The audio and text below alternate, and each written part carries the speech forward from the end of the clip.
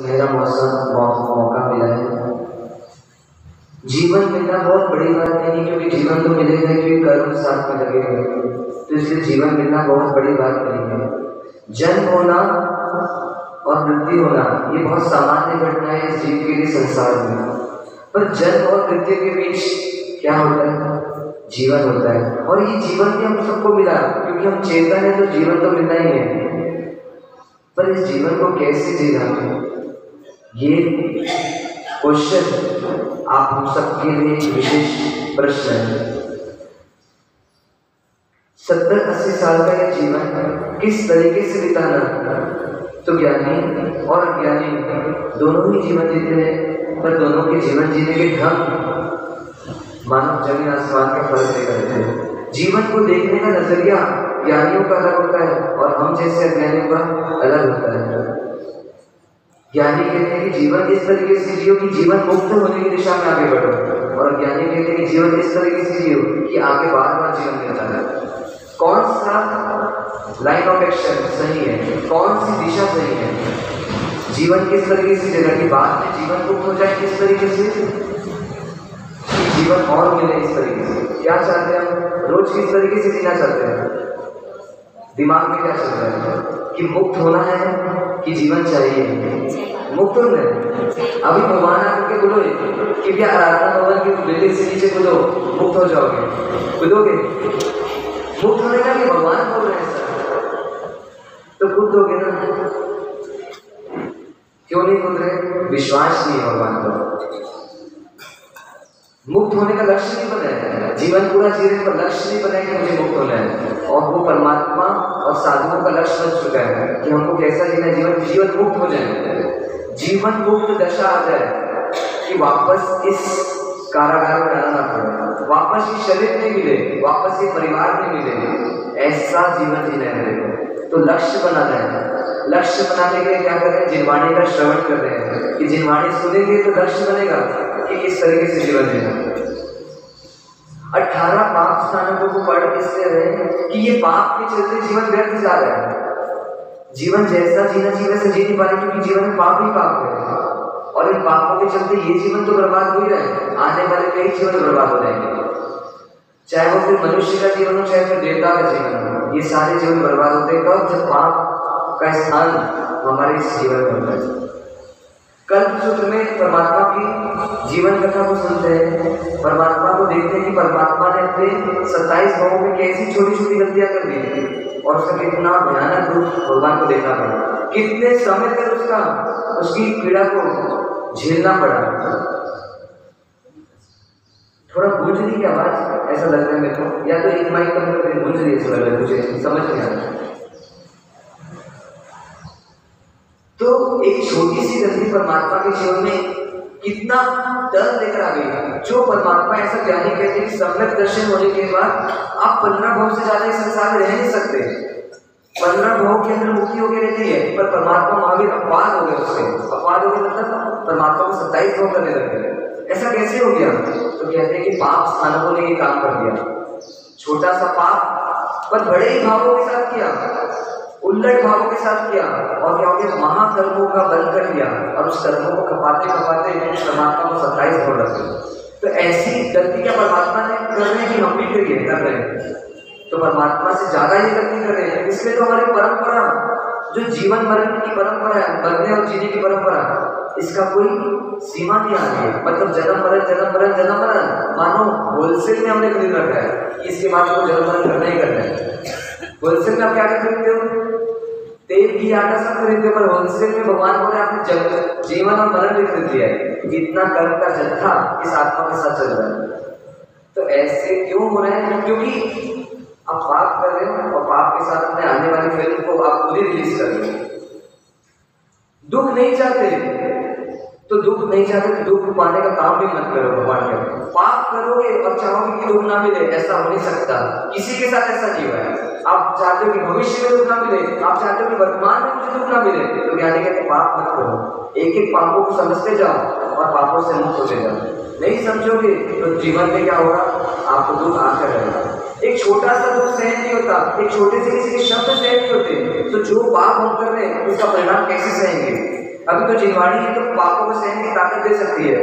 पर तिरंज गति में जाएँगे जब, देवता बन जाएँगे जब, अरे नरक गति में भी चले जाएँगे, और मनुष्य गति में भी जिन धर्म के विरोधी धर्म में चले जाएँगे तो वहाँ पर फिर हमको दुख मुक्ति का उपाय कौन बताएगा?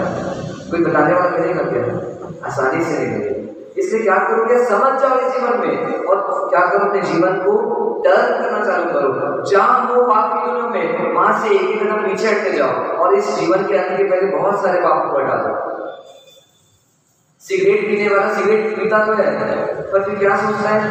अगर रुई का ढेर लगा हुआ है, और रुई के ढेर के पास पी करके अपने आखिरी जो बचा कुचा सिगरेट का कर्ण है, उसको फेंक दिया वो तो फेंक चले गया पर आगे क्या होता है, पूरे रुई के खिलान पूरे रुई के कारखाने में क्या होता है, आग लग है।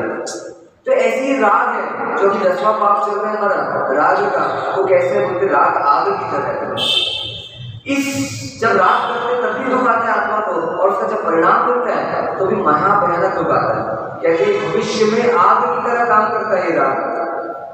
रुई का ढेर में आग लगती ना तो फायर ब्रिगेड भी बुलाते हैं। सब करते पर भी आसानी से आग शांत नहीं होती। ऐसी राग की दुनिया।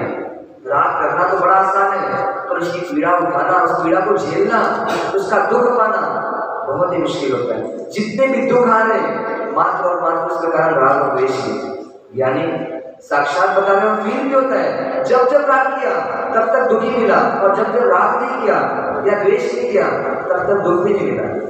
वास्तव में इस संसार में 700 करोड़ लोग हैं। 700-800 करोड़ दुनिया में लोग रहते हैं, पर आपको कितने लोग दुखी करते हैं? चार, पाँच लोग। आपके पति, आपके बच्चे, आपके सास, आपके ससुर, जिनसे हमें राग का संबंध है, उनसे हमको दुख मिलता है। और जिन दुनिया में इतने सारे लोग हैं, वो हमको दुखी नहीं करते। उनसे तो हमारी मित्रता ही चल रही है। क्यों नहीं दुखी हुए? क्योंकि उनसे राग का संबंध नहीं है तो जैसे दुनिया के साथ आप जी लेते हो, ऐसे परिवार वालों के साथ जी लो। बिना राग के जी लो। कर्तव्य दृष्टि से जी लो, कर्म का उदय जीना पड़ेगा, इससे जी लो। पर राग राग करोगे तो वर्तमान में तो और भविष्य में अनंत दो। दोनों साथ में आप खरीद लो एक राग करते तो वर्तमान में क्यों आता है? क्यों टेंशन आती है? और भविष्य में कर्म बनते हैं तो उसका अलग परिणाम होता है। तो जन्म लेते हैं और जन्म से राग धीरे धीरे बढ़ता जाता है और मृत्यु पर्यंत राग सकता है। और फिर उसके बाद जिस जन्म में जाते हैं वहाँ पे फिर संस्कार आगे होते राग ऐसी राग की परंपरा मानो राग का कारोबार। हम बढ़ाते जाते बढ़ाते जाते बढ़ाते जाते ऐसा राग का कारोबार चलता है। व्यक्ति शादी क्यों करता है? द्वेष से शादी करते हैं कि राग से शादी करते हैं? राग रहता है। लगता है जीवन में कि शादी करूँगा तो आनंद पड़ेगा अभी मैं अकेला हूँ, दुख लग रहा है। मेरे को कोई संभालने वाला बन मिल जाए। मेरी पीड़ा को कोई देखने वाला मिल जाए। मेरी साथ सम्मान करने वाला मिल जाए। इस समाज में गलत ना लगे कि मैं कुमारा रह गया इस स्पर्श इंद्री का राग आता है। ऐसे बहुत सारे राग हावी होते तब निर्णय करते कि अब शादी कर लेंगे क्योंकि शादी करूँगा तो मुझे सुख मिलेगा।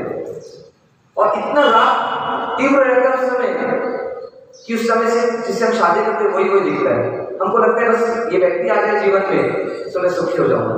और ऐसे राग के चंगुल में फंसते हैं जिस दिन विवाह करते हैं, जिस दिन फेरे होते मानो समय क्या होता है? इसको सच्चाई को देखो कि जिस समय विवाह करते हैं मानो ये राग हमको धोखा दे रहे हैं। हम फेरे तो ले लेते हैं, और समय फंस जाते हैं।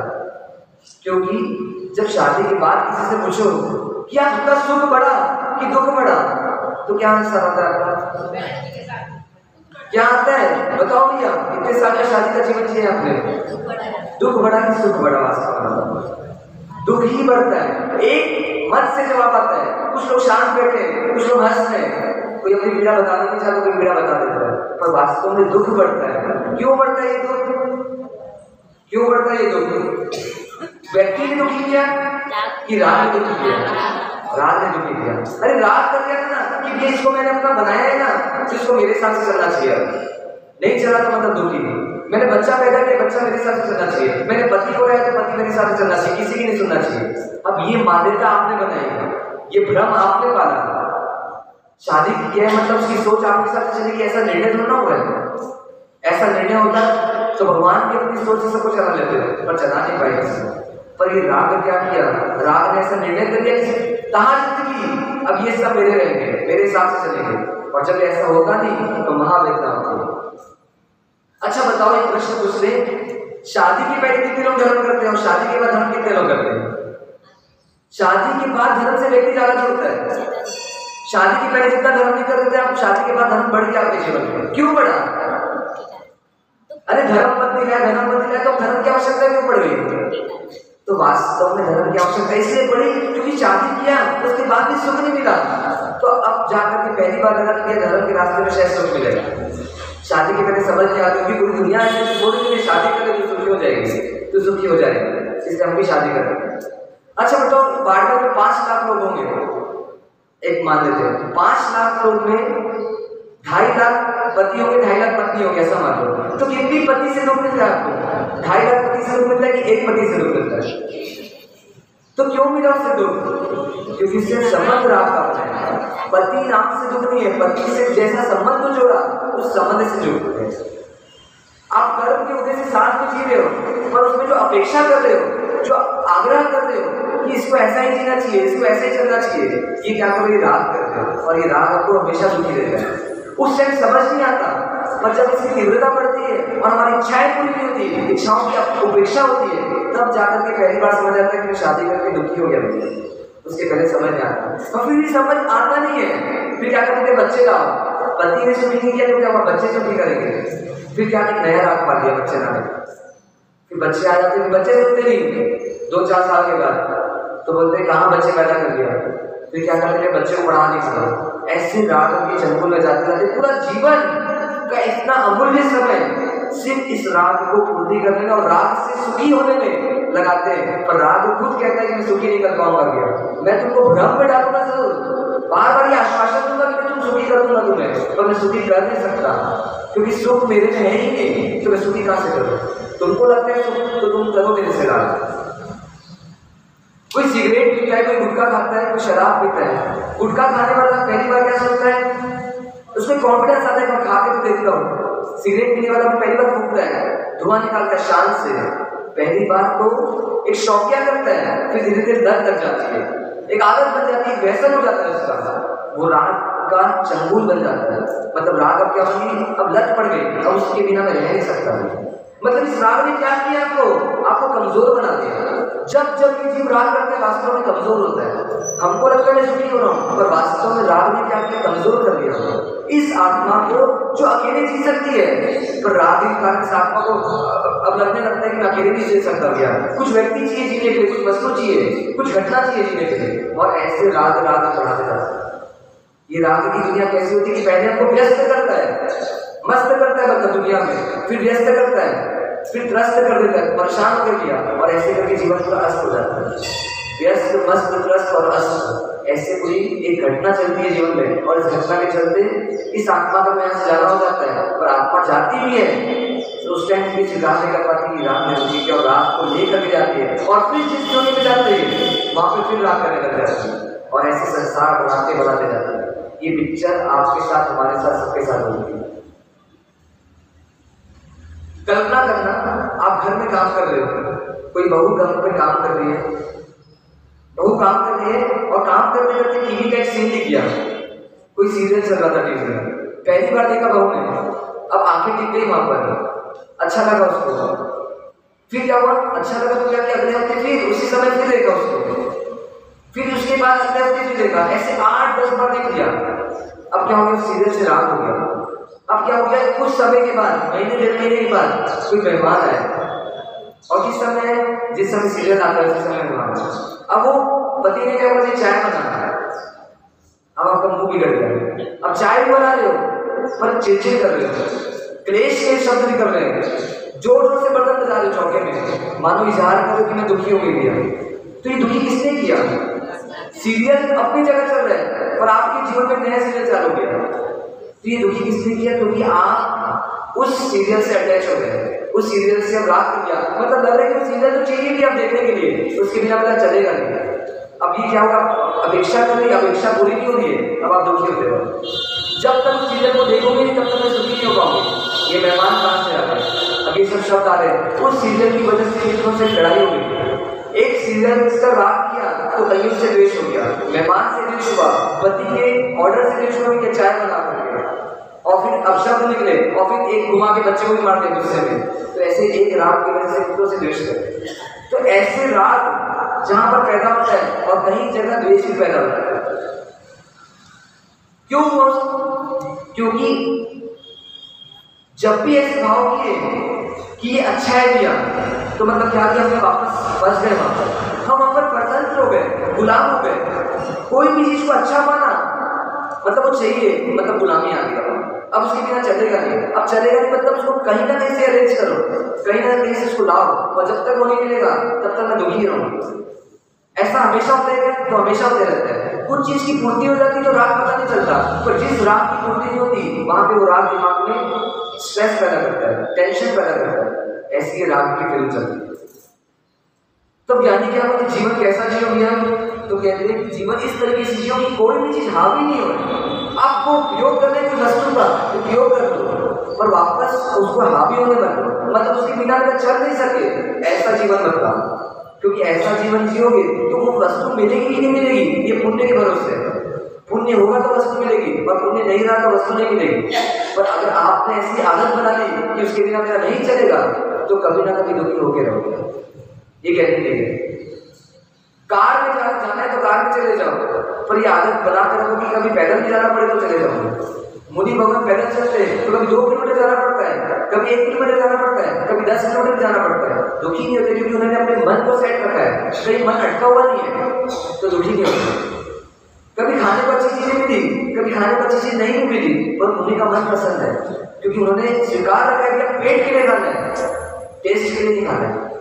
टेस्ट के लिए जैसे खाना ये शब्द आया, या मन में ऐसा भाव आया तो क्या हुआ पाप तो बन गया दुख भी चालू हो गया। अब टेस्ट में जो चीज़ अच्छी लगती वो नहीं मिली तो दुखी। पर पेट पूर्ति के लिए खाना ये भाव बना हुआ है तो कभी रुखी रोटी मिली, कभी खाकरे मिले कभी माल मिष्ठान मिला, सब में सुखी रहती क्योंकि आशय स्पष्ट है पेट को सम्मत देने से कोई ससुराल पहली बार गया? आप अपने ससुराल पहली बार गए, आपको गाड़ी लेने आई आप सुखी हो गए। और आपकी अपेक्षा होगी कि जब जब आप ससुराल में गाड़ी आना चाहिए पर अगली बार गाड़ी खराब है कोई लेने नहीं आया आपको। आपको ऑटो में लेके आ रहे हैं अब घर आ रहे हो, ऑटो में आ रहे हो, पर दुखी हो गया। क्यों दुखी हो? क्योंकि मान्यता में राग आ गया कि मैं जब जब ससुराल आऊँ तो ससुराल वाले मेरे को गाड़ी में लेने आना चाहिए। अब ये दुखी किसने किया? तो एक राग ने ऐसे ही राग हमको हमेशा दुखी करता है। मानव का रिमोट कंट्रोल किसको दे दिया है दुखी सुखी होने का, राग को दे दिया है राय जब चाहे हमको सुखी करे और ये राग जब चाहे हमें दुखी करे। ऐसी हमारी जीवन शैली होगी।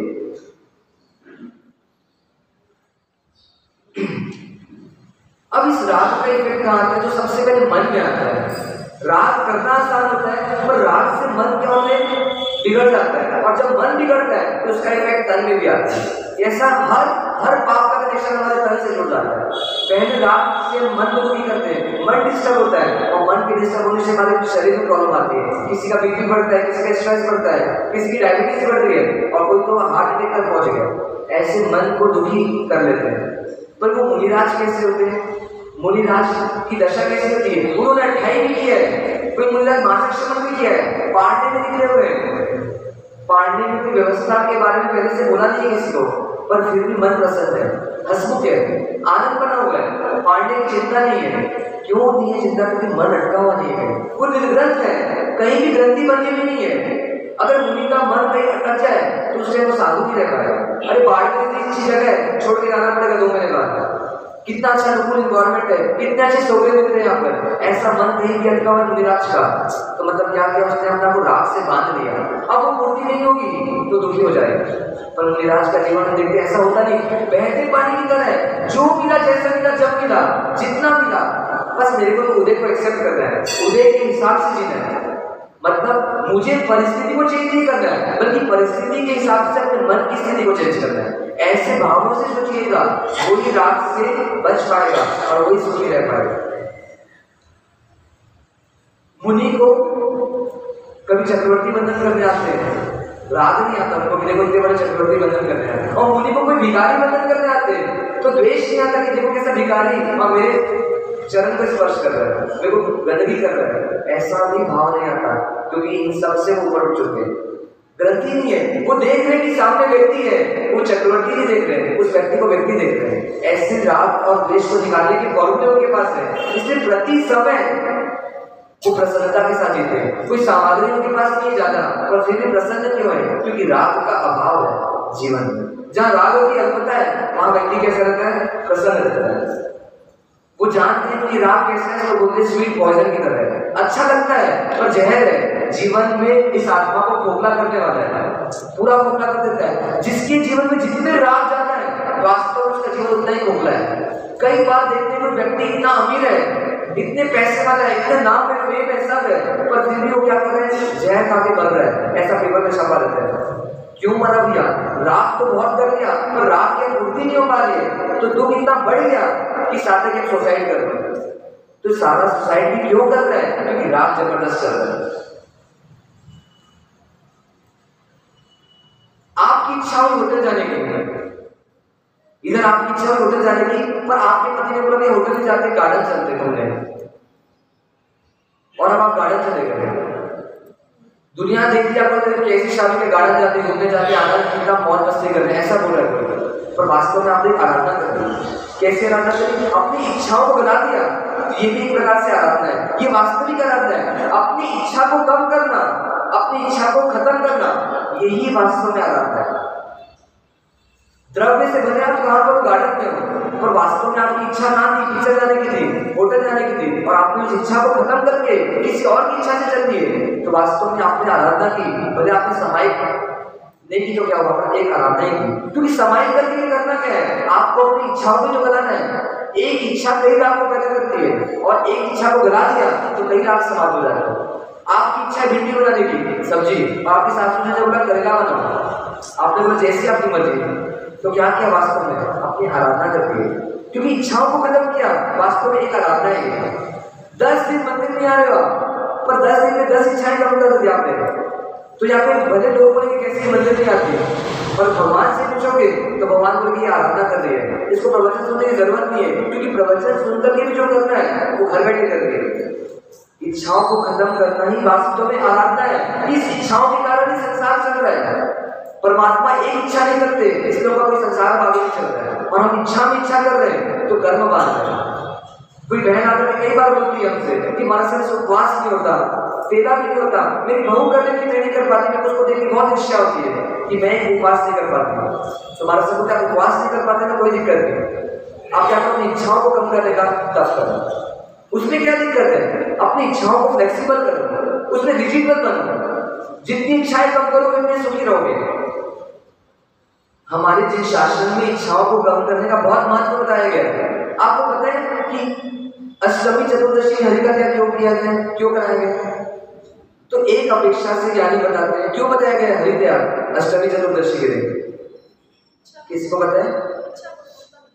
हाँ क्योंकि आप हरि को खाने के इतने आदि हो गए हो कि एकम दूसरी चौथ पांचम सप्तमी तक खाते रहते हो। तो आपकी इच्छाओं को ब्रेक कराने के लिए, आपकी इच्छाओं को थोड़ा हिलाने के लिए तो आपकी आदत वैसी बने मत रहे जैसे बीच बीच में से परिस्थिति आती है, जिसमें कुछ आपको चेंज किया जाता है तो आपकी मन हर कंडीशन में जी सके, हर सिचुएशन में जी सके, हर परिस्थिति में वो रख सके। इसलिए क्या कहते हैं चौदह अष्टमी, पांचम दूज, वहाँ तक क्या करो बीच में हरि का त्याग करो ताकि आप हरि के बिना जी सको। आपका मन हरे में अटका मत रहे। फिर कई बार आदरा आता है ना बोलते हैं आदरे के बाद छोड़ देते हैं छोड़ते हैं तो जब तक आम नहीं आता तब तो हम आम खाते नहीं है। और जब आम आता है तो दिन में दो, चार बार खा लेते हैं। और क्या बोलते हैं आदरा कब लग रहा है बाईस जून को लग रहा है। चार बज दो मिनट में लगेगा तो चार बजे तक खाते रहो। तो ये त्याग नहीं है वास्तव में। ये तो बाउंड्री लाइन बताई। पर वास्तव में जिसका राग पहले शुरू किया, उसको तो पहले ही बंद कर देना है। ऐसा तो नहीं कि आपको चार बजे तक खाना है। जीव उत्पत्ति होना हो तो पहले हो गई होगी उत्पत्ति आप में उसका पाप लगना तो लग ही जाएगा।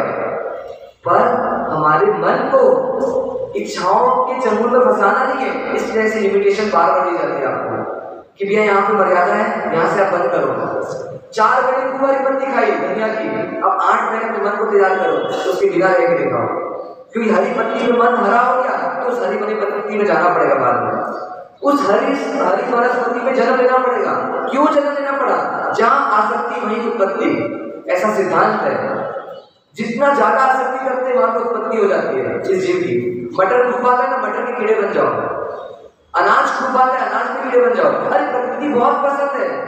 हरियाली बहुत पसंद है। हरियाली का पेड़ बन के पैदा हो जाए और उसी को देखते रहो। ऐसी राग, ऐसा प्रकृति वर्ग करती है कि इस जीव को जाना ही पड़ता है, जहाँ तक राग रहता है। आलू खूब पसंद है ना? अब आलू में आलू ही जाओ। बाल बहुत पसंद है ना? बाल में ही कीड़े बन जाओ। शरीर बहुत पसंद है ना किसी का? उस शरीर में कीड़ा बन के पैदा होता है। ऐसी राग की करामात होती है। अब इस राग से बचे कैसे? राग तो भयानक, बहुत तरीके से ज्ञानी बता रहे पर राग से बचे कैसे? क्या तरीके अपनाए तो कुछ ऑप्शन दे रहे हैं यानी कुछ विकल्प दे रहे हैं कुछ तरीके दे रहे और उस तरीके से, से हमको सेलेक्ट करना कि कौन सा तरीका सही है उस तरीके को देखने का प्रयास करते हैं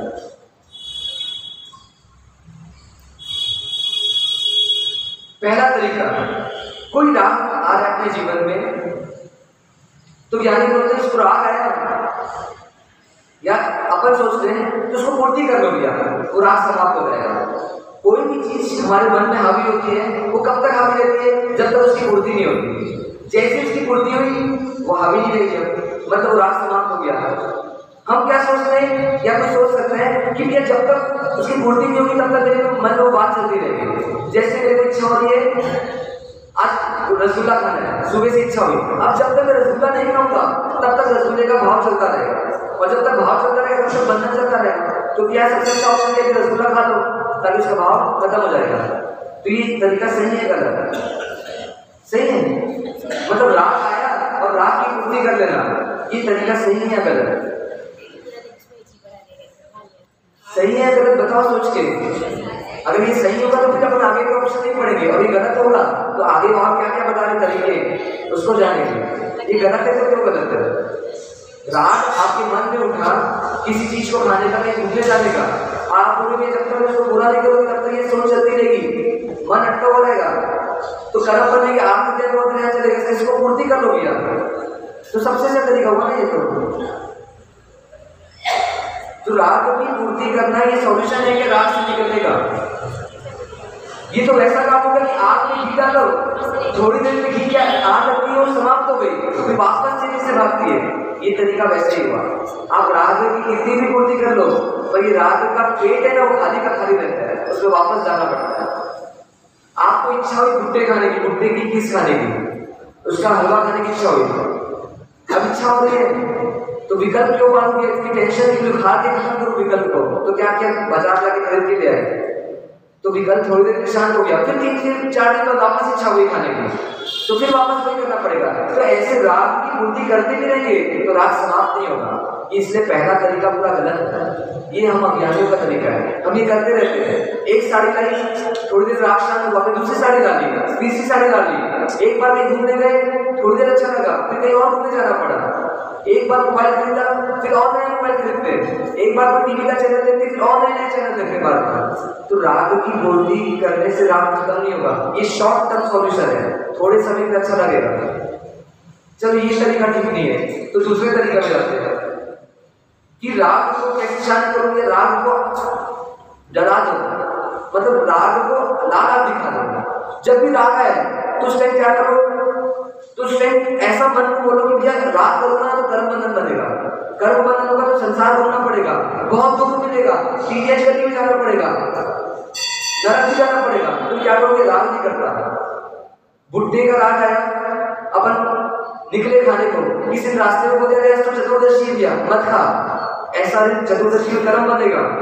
ज़्यादा खाऊँगा मतलब खाऊँगा तो। और रात को भी समय हो गया, रात में क्यों लगाऊँ? ऐसे अपने मन को डरा दिया। कि आगे जाकर के इसका दुष्परिणाम आएगा। और इससे करके अपने रात को रोक ही दिया तो चतुर्दशी को तो रोक दिया पर जब चतुर्दशी चली जाएगी, तब खा लोगे जो इसमें कम कम बना होता है। तो ये भी तरीका वास्तव में ठीक नहीं मतलब अपने आप को भयभीत करके कर्म का बंधन होगा, ऐसा डरा करके भी राम को रोक नहीं सकते वास्तव में। क्यों? ये भी टेम्पोररी सॉल्यूशन है। कब तक भयभीत रहेगा जीवन? आठ दिन पोल्यूशन को कंट्रोल कर लेते हैं आलू प्याज को। हरी वनस्पति को फिर वापस नौकरी से चालू हो जाते हैं। क्यों चालू हो गए? क्योंकि रात के साथ कंट्रोल नहीं किया था। रात चल ही रहा था और आठ दिन एक व्यवस्था थी हमारे जय धर्म की, इसलिए कर दिया। कोई भय नहीं था। आठ दिन सब करते, इसलिए कर दिया। लोग लाज कर दिया। इसलिए क्या वापस चालू किया वो नौवे दिन से? तो ऐसे भयभीत करके भी अपने आप को, डरा करके भी हम अपने इस पाप को रोक सकते। फिर तीसरा तरीका क्या बता रहे हैं कि राग को संकल्प पूर्वक रोको। संकल्प पूर्वक मतलब नियम से रोको। मैं या कोई चीज़ में ज़्यादा आ रहा है चीज़ को खाऊँगा ही नहीं। मैं एक साल का बचका लेता हूँ। मैं छह महीने का बचका लेता हूँ। जिस चीज़ में राग आ रहा है उसमें संकल्प पूर्वक रोकूँगा। मतलब पचकान पूर्वक रोकूँगा। जिस गली में वो ठेला लगता है, गुड्डे का, उस गली में मैं जाऊँगा ही नहीं। नियम लेता हूँ ऐसा करके अपने राग को कंट्रोल कर। तो ये तरीका सही है क्या? पचकान लेते ना अपन। तो ये तरीका सही है ना? तो यानी कहते थोड़ा तो सही है पूरा सही नहीं मतलब इसमें क्या होगा? वस्तु छूट सकती है, संकल्प करने से वस्तु छूट सकती है, पर संकल्प करने से लाभ नहीं छूट सकता। हाँ नियम के बंधन में आने से वस्तु छूट जाती है, पर नियम के बंधन में आने से ज़रूरी नहीं कि आपका राग छूट जाए। इसलिए इससे भी और रुकना पड़ेगा आपको तो कैसे राग कंट्रोल करें अब तीन तरह के ज्ञानी ने बताया एक तरीका आप बताओ, अपनी बुद्धि से। चार तरीके बता रहे ज्ञानी। पहला तरीका क्या था? कि भैया राग आया उसको पूर्ति कर लो। सबसे अच्छा तरीका जो अपन को लगता है। अपन राग आते हैं पूर्ति करते जाते हैं। ये इच्छा ये खा लो गया ये पहनने की इच्छा ये पहन लो। पर वास्तव में राग को पूर्ति नहीं करते, राग को बढ़ाते जाते हैं। हमको लगता है कि मैंने राग की पूर्ति की। ये पहला तरीका तो पूरा ही गलत है दूसरा तरीका क्या है राग को भय से हटा दो।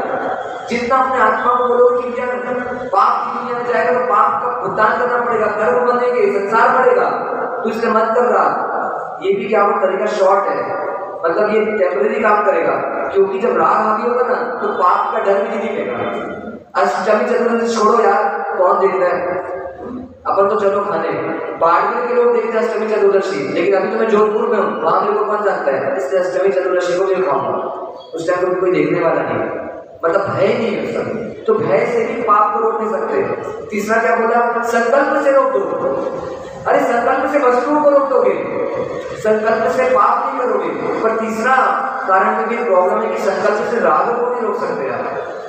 राग को रोकना तो बहुत ही मुश्किल है। साधु बन गए हम, पर फिर भी भाव कर सकते हैं। साधु बन गए, फिर भी मोबाइल चलाने की इच्छा हो सकती है। मोबाइल हाथ में नहीं पकड़ेंगे, पर मोबाइल चलाने की इच्छा साधु को भी हो सकती है।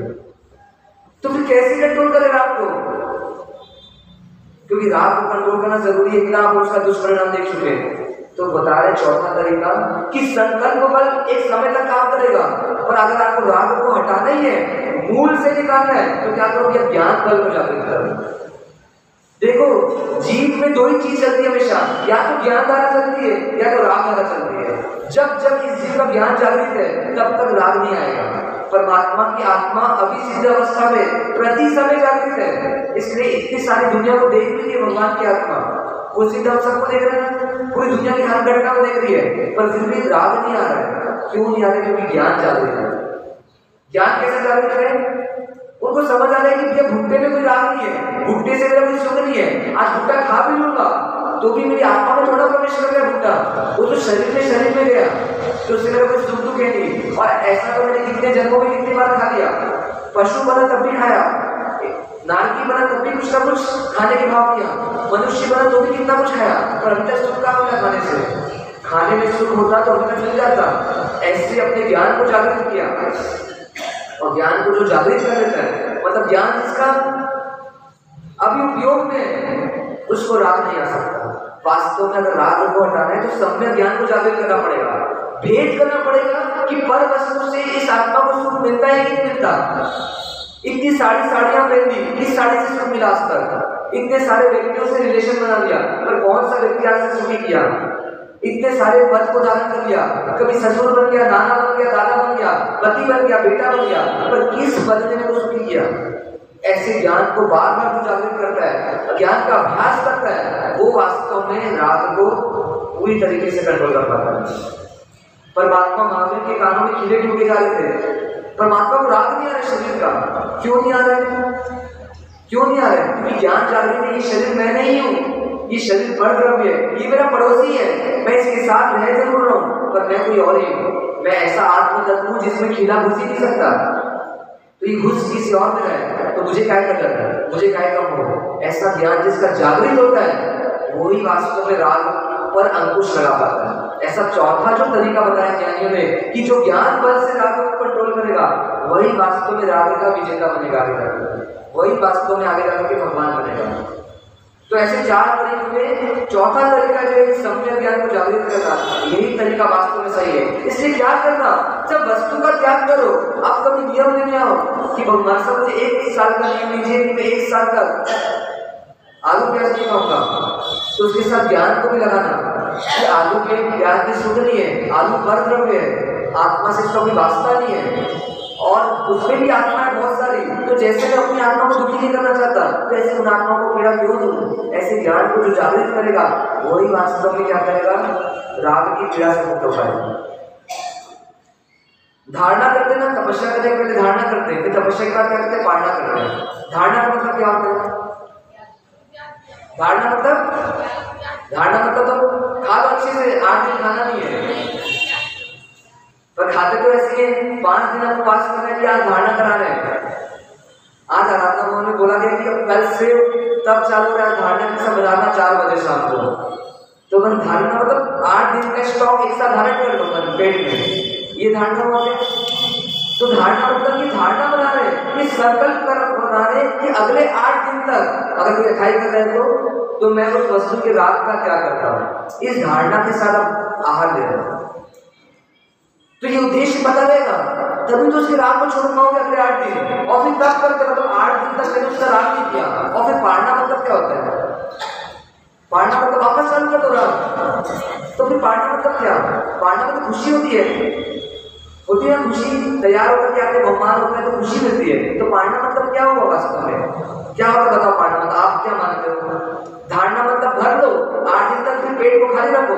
फिर पाड़ना मतलब वापस भर दो। यही तुम्हारा पढ़ना पड़ता पर पढ़ना मतलब क्या बताया कैसे पार हो जाओगे तब के इतने दिन तो तुम आठ दिन तक बिना खाए ज़िंदगी अब आठवें दिन के बाद नौवें दिन में प्रवेश कर रहे हो तो भले अब खाना चालू कर दो।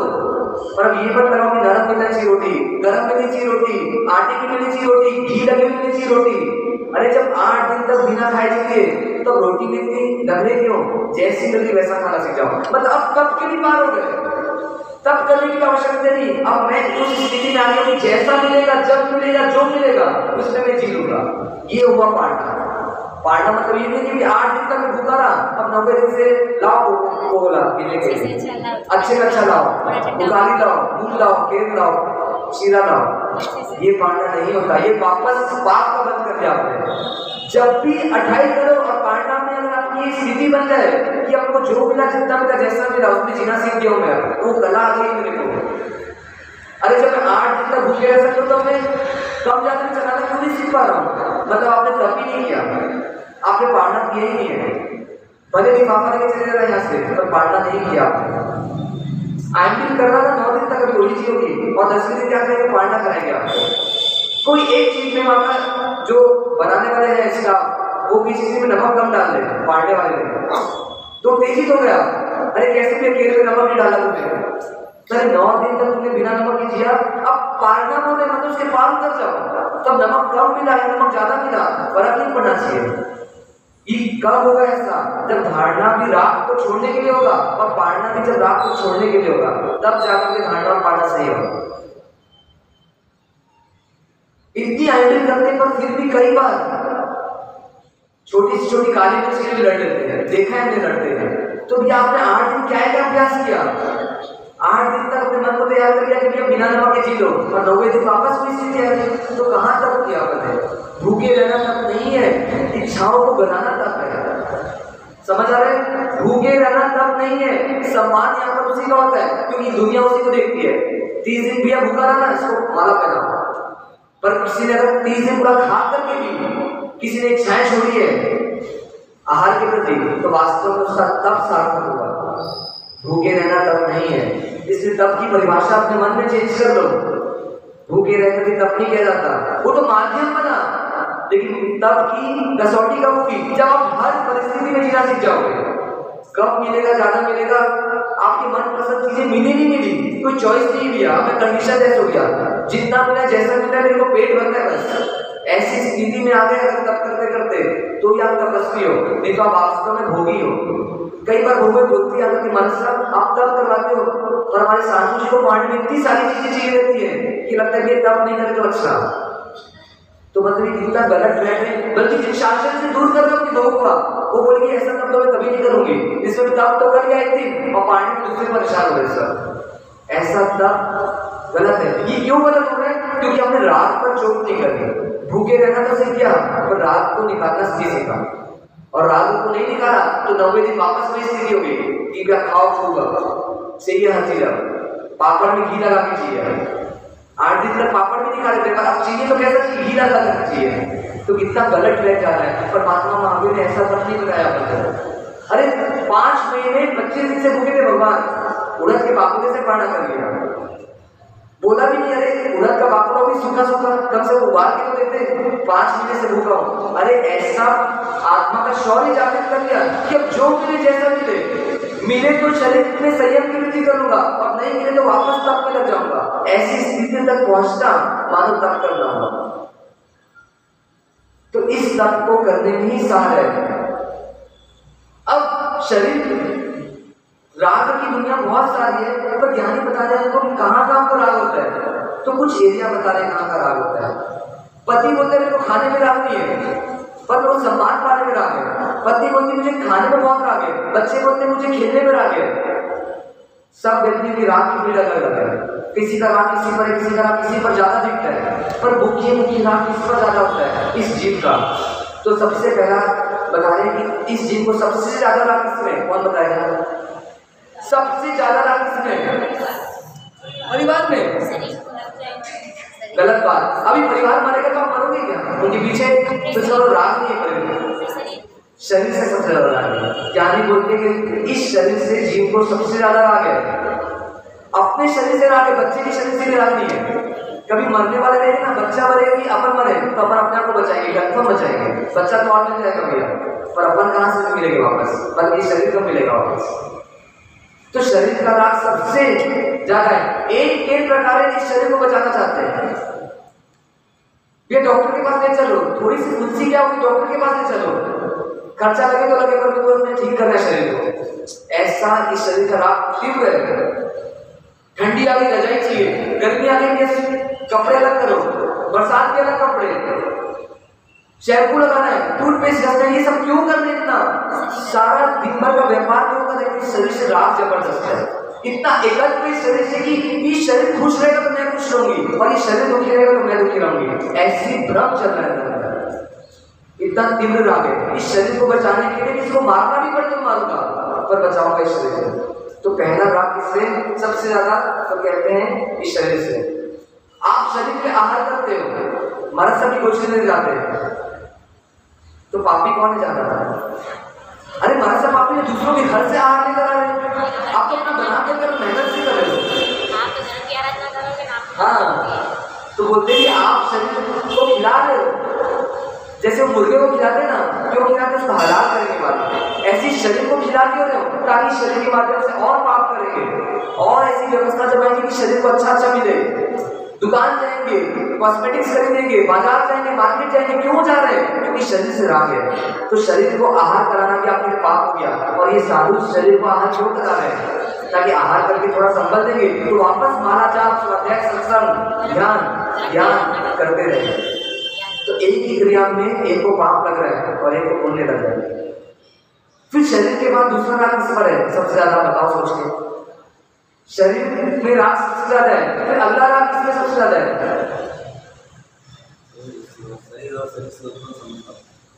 संबंधों में मतलब परिवार में। शरीर के बाद किसी से राग उत्पन्न है ज़्यादा कोई अच्छा लगता है तो परिवार अच्छा लगता है। पहले शरीर अच्छा लगता है इसलिए शरीर को पहले सेट करते हैं, फिर अगले दौर में किसको सेट करते हैं, परिवार को सेट करते हैं। इस शरीर की पूर्ति के पहले परिवार बसा होता और परिवार बसा हो तो उसमें पत्नी को लाओ बच्चे को लाओ। पत्नी बच्चों के बाद पूरे परिवार की देख रेख करो। जिस बेटे को थप्पड़ मारते हैं अपन, वो बेटा कभी स्कूल से लेट आ जाए बहुत देर तक आया नहीं तो आँखों व्याकुल हो जाते हैं। बोलते क्या, जाओ देख कर आओ। पति को बोलते, जाओ देख कर उसको से आया नहीं? क्योंकि उस बेटे से भी है। क्यों है उस बेटे से? ये बेटा पूर्ति करेगा आगे। मेरे शरीर को चलाने में मदद करेगा। एक शरीर से राग किया तो सबसे राग करो। केंद्र में कौन है? पूरा परिवार आ गया। पति को मरने देना क्यों नहीं चाहते? ये पति मरेगा तो शरीर का क्या होगा? मेरे शरीर का क्या होगा? मेरी व्यवस्था करके तुम कहीं चले जाना। कई बार क्या बोलते हैं, दीक्षा लेने वाले को, कोई पत्नी बोलती है, तुम दीक्षा लो कोई दिक्कत नहीं, पर मेरी सारी व्यवस्था कर दो फिर। तुमको जो करना है करो मतलब इस शरीर के राग के कारण उसको धर्म में आगे बढ़ने से रोक रहे परिवार का राग आता है। फिर तीसरा राग किसमें आता है? बताओ। परिवार के बाद राग किसमें है? तीसरा। ज्ञानी को क्या लिखते हैं आपको किसमें सबसे ज़्यादा राग है? परिवार के बाद। हाँ धन से भी ज़्यादा किसी और पर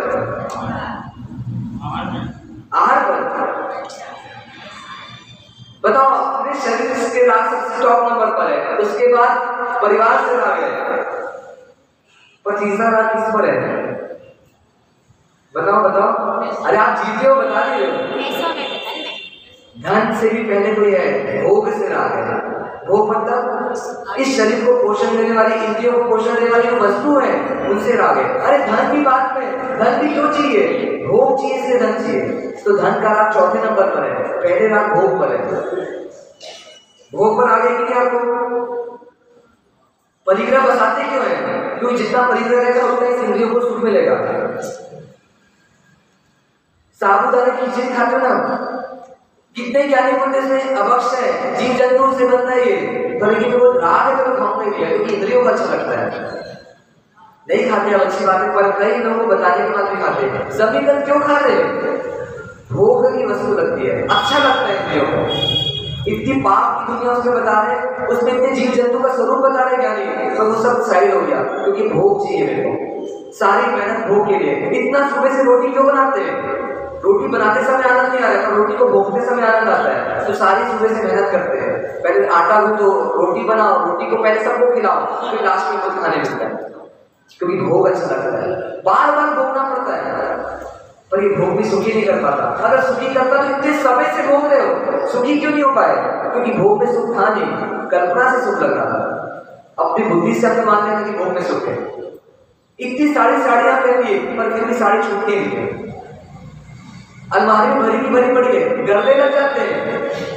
अब दिवाली के समय सब क्यों धूप दिखाते हो? पर वापस उसको रख लेते हो पहनते दो चार ही हो, पर भोग छोड़ने नहीं देता उसे। ऐसा भोग का साम्राज्य बसा कर रखा है। चीनी की शक्कर ने कितनी मेहनत करी है, क्योंकि शक्कर को भोगने में मज़ा आएगा ऐसे हमको भी मज़ा आ रहा है। अरे, हवा वाली जगह क्यों चाहिए? हवा में सुख लग रहा है। अरे, गर्मी, ठंडी में गर्मी के समय जम्मू कश्मीर में जाना घूमने? मज़ा आएगा वहाँ। मतलब मज़ा है भोग को भोग में अब भोग के बाद रात में अगला। अब भोग चाहिए तो क्या चाहिए? धन चाहिए क्या बिना धन के भोग नहीं आ सकता। पत्नी बोलती, और कमाओ। मेरी भोग की पूर्ति नहीं होती और कमाओ। पति बोलता, चल मैं एक दुकान और करता हूँ। एक दुकान में पहले बंधुआ मजदूरी कर रहे थे, गले से। अब दो दुकान की मजदूरी कर रहे हैं। क्यों कर रहे हैं? क्योंकि भोग चाहिए और।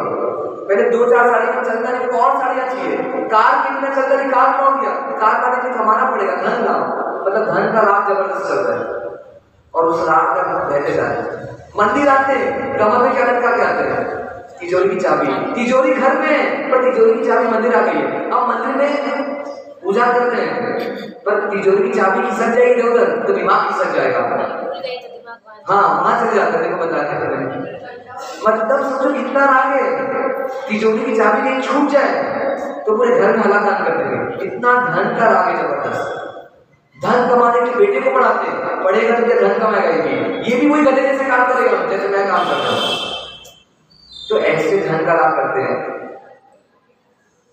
पर अंतिम सत्य ज्ञानी बता रहे हैं कि राग की दुनिया कैसी है? जैसे पानी कितना किलोगे कि मक्खन निकल जाएगा। बताओ। नहीं निकलेगा। कैसी बात करते हो आप? बाहर निकलते पानी से मक्खन। नहीं निकलेगा। राग को गिलो क्यों सुख निकालने के लिए।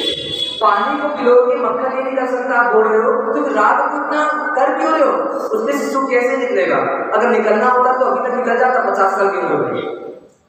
मरने वाले व्यक्ति से पूछो, रात से सुख निकला क्या? वो मरने वाला बस दो घंटे बाद। वो बोलेगा, नहीं निकला भैया, इतना रात किया कोई मतलब नहीं माता थोड़ी हो गई कुछ मिला नहीं लास्ट में। तो जैसे मक्खन नहीं निकल सकता पानी से, ऐसी रात को कितना भी कर लो, सुख नहीं निकलेगा। ये कंफर्म है कि राग क्या करता है? मेरी आत्मा को चंचलता पैदा करता है आकुल व्याकुल करता है। और जब राग की पूर्ति नहीं होती, तब दुख देता है और भविष्य में महा दुख देता है। ऐसी इस राग की दुनिया है। बिना राग किए जीना सीख जाओ। जीना के लिए मना नहीं कर रहे। पर आपको ऐसा क्यों लगता है कि राग नहीं करूँगा तो मर जाऊँगा? अरे राग किए बिना ज्ञानी जीते, साधु महात्मा जीते तो आप क्यों नहीं जी सकते? राग किए बिना जियोगे तो कहीं मन अटका नहीं रहेगा। मन हमेशा प्रसन्न रहेगा। जहाँ रहूँगा मैं मस्त रहूँगा भैया। क्योंकि मैं राग नहीं करता, मेरा मन भी अटका हुआ नहीं है। गुरु भवन ने हम चारों को भेज दिया। हम चारों जी रहे फिर क्या हो सकता गुरु भवन किसी और के साथ भेज देंगे। उन चारों के साथ जीतेंगे कभी गुरु भवन बोलेंगे बाढ़ में नहीं जाना आपको चौटन जाना है। चौटन चले जाएँगे। अरे, कहाँ पट करके रखेंगे? जहाँ जाएँगे, वहाँ राग नहीं करेंगे किसी से। अब कल के दिन आप आओगे नहीं हमसे मिले कि ऐसे इतना प्रवचन दिया, पर एक बार दर्शन करने नहीं आया ऐसा बोलेंगे क्या? अगर सही साधु होगा तो ऐसा नहीं बोलेगा। क्यों मन के आए थे? ज़िम्मेदारी थी, बता दी आपको। जिन वाणी का दान कर दिए। अब हम जा रहे आप आओ तो ठीक, नहीं आओ तो ठीक। अब प्रवचन पहले ज़्यादा लंबा देता कब कोई भीड़ कोई दिक्कत नहीं है। क्यों दिक्कत नहीं क्योंकि जिसका जैसा मैं वो होगा। किसी से मन से ना किसी को बांधो, ना बांधो।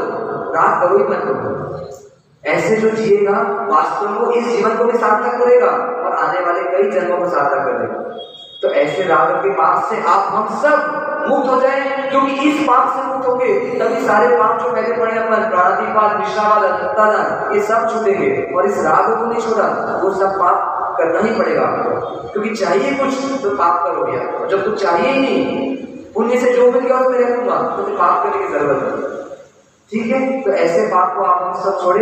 इस रात के पाप को आज हम यहाँ समाप्त करते हैं। कल से अगले पाप की तरफ़ बढ़ेंगे। जी ना अगले जो भी कुछ कहा हो वह सब मन वचन कार्य से दस हाँ एक बात दो मिनट और। परमात्मा के पास जाते हैं ना? रोज जाते हैं, लगभग सब जाते हैं। तो परमात्मा के पास क्यों जाना? ये भी लक्ष्य इस बात से कनेक्टेड है कि परमात्मा इस दुनिया को किस तरीके से देखते हैं? तो ना परमात्मा राग करते, ना द्वेष देखते हैं करते हैं और सबके साथ जी लेते हैं। आज इस विश्व को पूरा परमात्मा देख रहे हैं, पर उनकी दृष्टि में भूख पैदा नहीं होता क्योंकि राग नहीं करते। तो परमात्मा से वही दृष्टि मांगने के जाना कि परमात्मा मेरे को कैसा मेरे में भी ऐसी पात्रता चाहिए कि मैं बिना राग की जी सकूँ। क्योंकि जब तक राग करूँगा तो मन नहीं फंसेगा, फिर दुखी हो जाऊँगा। तो परमात्मा से क्या मांगना? तो दो लाइन के भजन गाते उसके बाद समाप्त करते हैं। ना राग रहे ना ना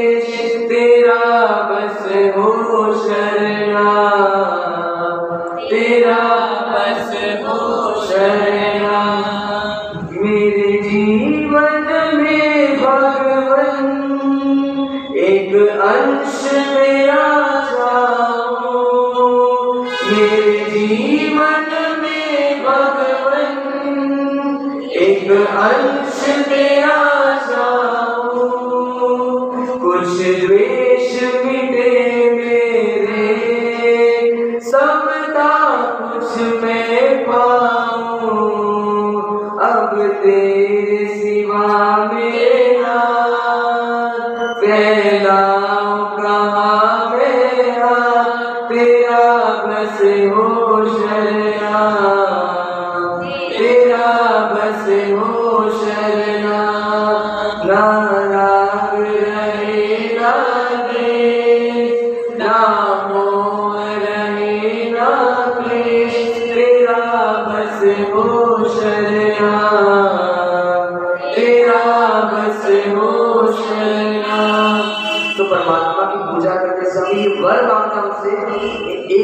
अंश करके परमात्मा ऐसी दृष्टि दे दो कि मैं भी बिना राग और क्लेश किए इस संसार को देख सकूँ और संसार में जी सकूँ। ऐसे भावों के लिए ही परमात्मा की शरण में जाना और इसके अलावा कुछ नहीं मांगना, तभी हमारी पूजा करना, परमात्मा से मिलना और परमात्मा के करीब आना सार्थक होगा। जिन आगे जो भी कुछ कहा, वह सब मनोरंजन का ऐसे दस शामिल